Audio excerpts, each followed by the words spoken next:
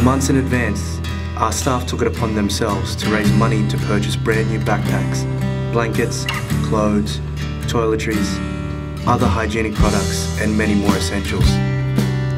Our staff also donated many products to the great work that Parramatta Mission does.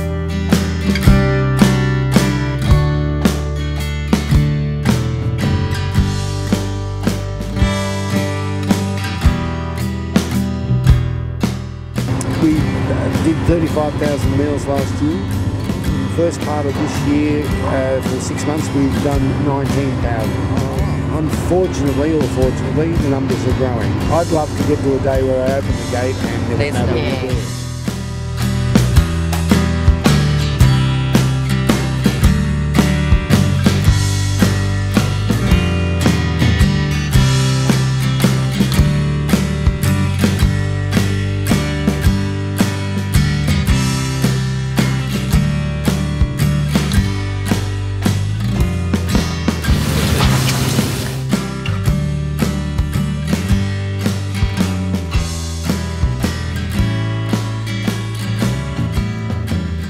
Homeless Persons Week is also run by Western Sydney Homeless Connect, who are a registered non-profit charity led by a team of volunteers with a range of skills, experience, and the desire to help improve the lives of homeless and less fortunate in Western Sydney.